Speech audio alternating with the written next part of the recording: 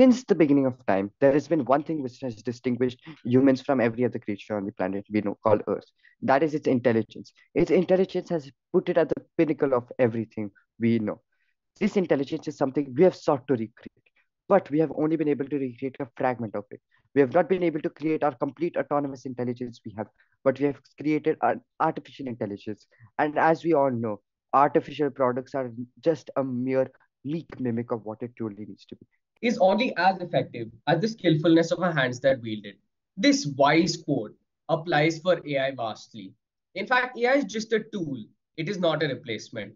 As if you're intelligent, you can help uh, AI give you amazing and informative results. But if you're not intelligent enough, you can give it incorrect inputs that give you irrelevant or unforeseen results. Let's begin this debate by making a key distinction. The statement talks about the performance of the AI, not the quality of the inputs and outputs provided by the user, which are what differ from person to person. While a more intelligent person may provide better inputs that create better end results, if inputs were provided the same, the output would also be the same regardless of the intelligence of the user. Let's expand upon the performance of AI and its basis.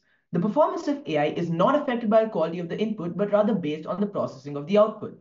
A recent study conducted by Turing Tech AI talks about the three major pillars of AI performance. The first, database, which is the bank of data that the AI has access to. Secondly, the code, which is the coding of the AI itself. And thirdly, the hardware, which is the quality of the processor bank that it runs on, on the user and the, and the user's own hardware.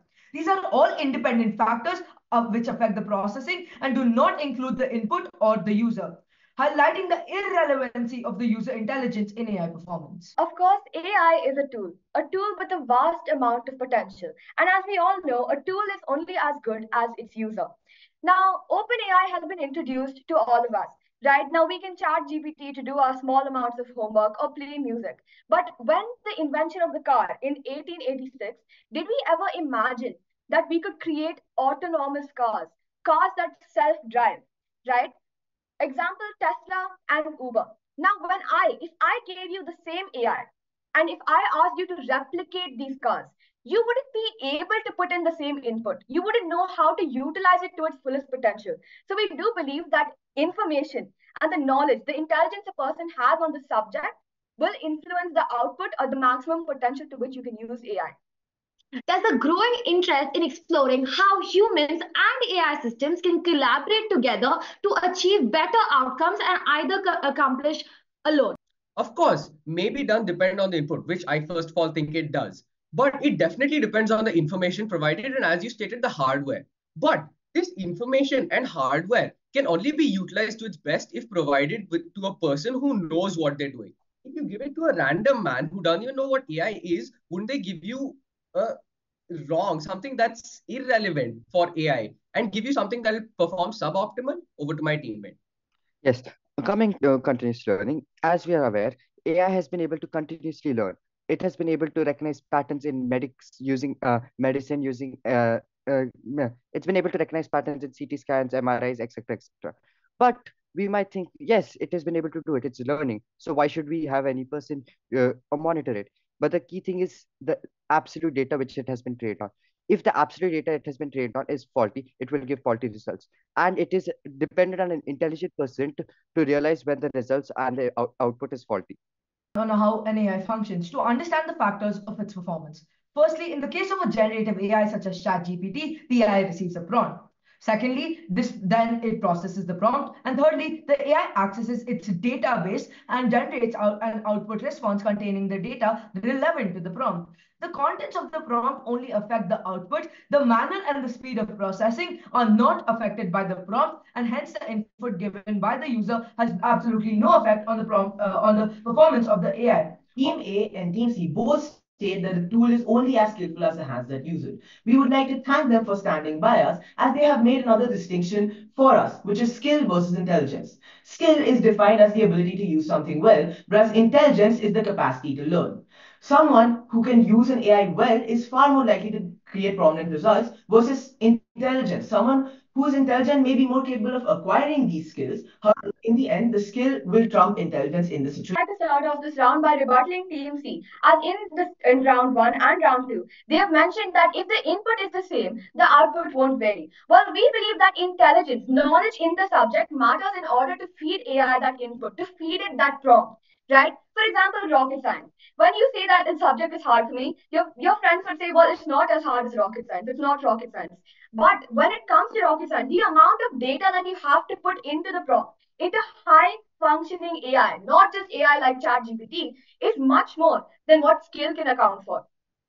Research in this area investigates on how intelligent users can complement AI capabilities, such as providing context, domain expertise, or intuitive insights that enhance the overall experience of AI-driven solutions. Start off by referencing our previous statement that says that AI learns through the information it's provided. First of all, this of course depends on the intelligence of the person and what information they provide. If bad or useless information is given, a terrible result will show out. And this is supported by an experiment done in 2023, where two chat uh, AIs were given different information from different sources. One fed with lies and uh, held by a group of people who did not do proper research on the AI, meanwhile, others with experts on AI. And it was shown that AI created by the experts and run by the experts had much greater performance than the one created by the uh, normal people who did not have much knowledge on the topic. Over to my teammate. To rebuttal team uh, B's point, if skill and intelligence aren't uh, uh skill will trump, uh, trump intelligence. How about this? As stated, uh, AI is. have already established that the prompt does not affect the performance of an AI. We would like to expand on this by saying that hypothetically, even if the performance was affected by the input, the defining factor in how well one could generate inputs from an AI would be how well they could prompt it to achieve their desired output. This would be a result of their skills and their knowledge on how to use an AI rather than their direct intelligence. Again, as we have explained before, skill is the ability to do something well, whereas intelligence is only the capacity to learn. Again, an intelligent person will only be able to more easily acquire this skill. In the end, the more skilled person will always trump the more intelligent person when it comes to using an AI. Okay, now let's move ahead to rebuttals. Firstly, to Team C, they keep talking about the quality on the input. As we have reinstated throughout this debate, the quality of the input only affects the output and once again has no relation with the processing of the AI and they are completely diverging off this statement. When they said that we were diverging from the statement, well, I believe that it's actually Team B diverging from the statement when they said that it does not affect the processing of the information. I may reiterate that the statement says that it does not affect the performance not the processing. So the output does matter.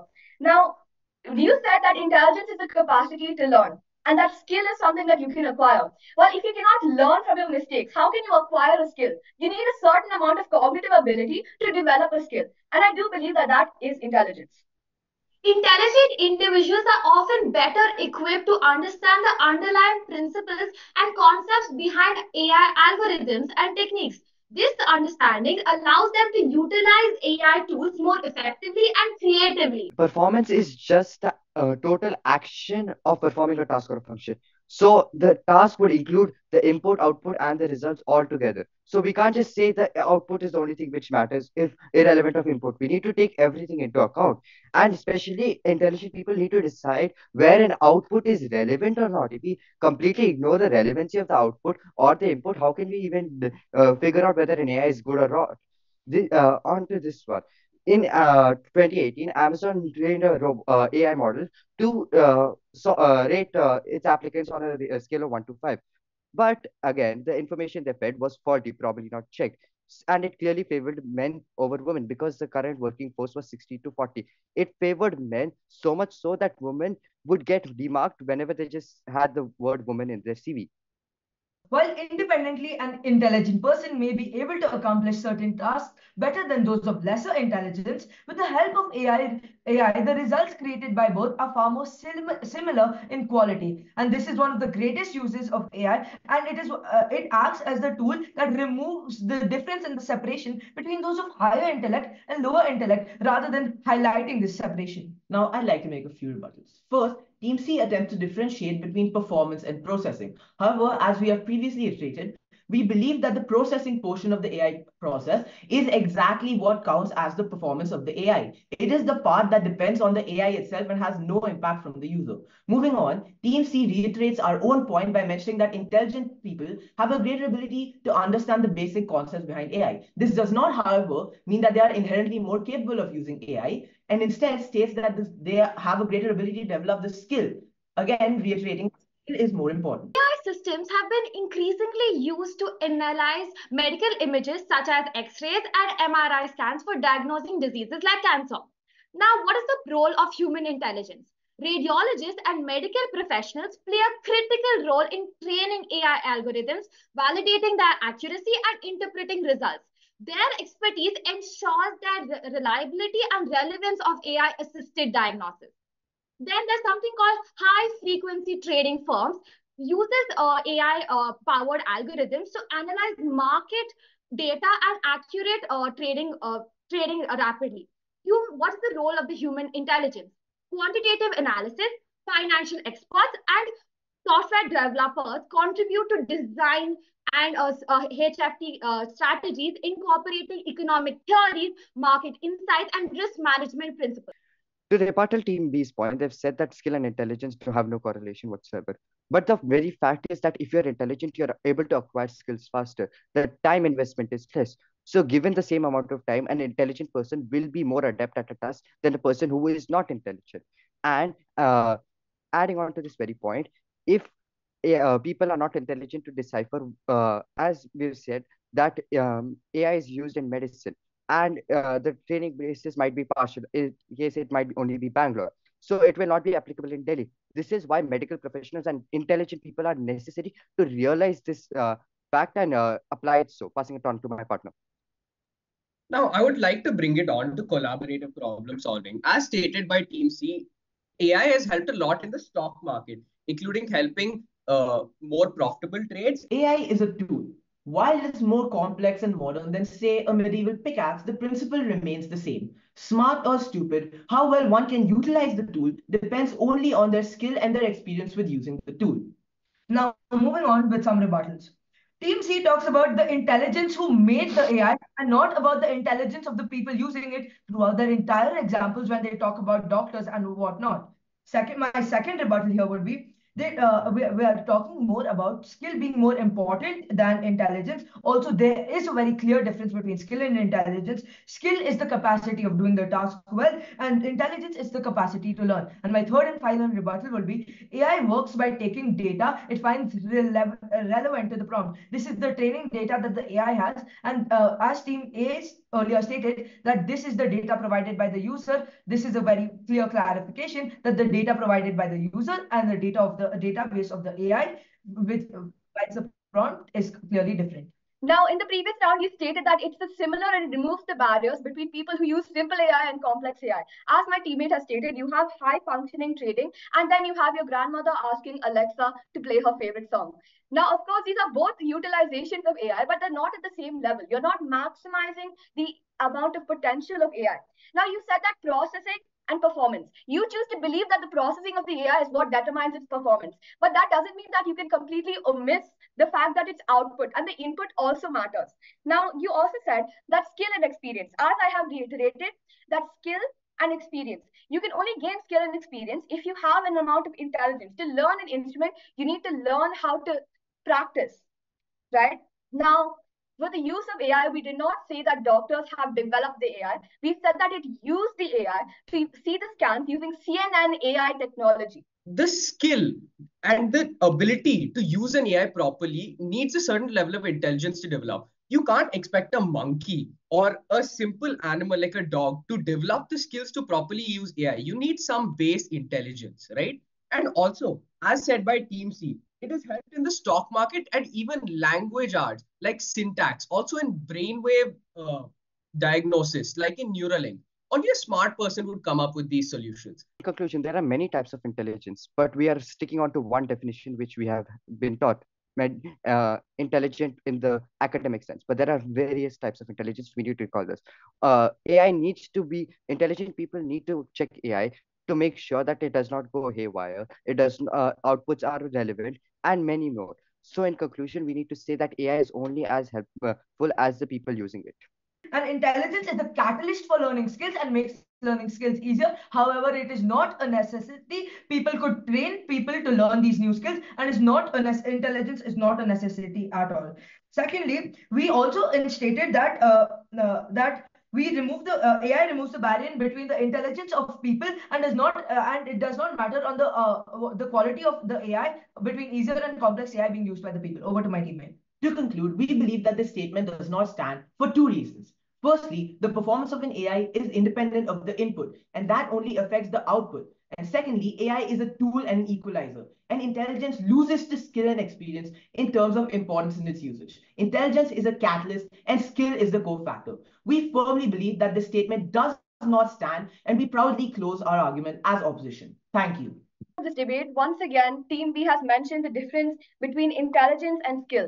Now, a skill is something that you could teach a dog how to fetch a bone. As you said, you could train a person. But the amount of cognitive ability to get the output and understand if this is the output you wanted or to filter another input to get the ideal output right now we did not mention that an untrained person or your grandmother could use somebody like a high functioning AI. We just stated that you cannot use AI to its fullest potential, which is why intelligent people or people with knowledge in the subject can use it better.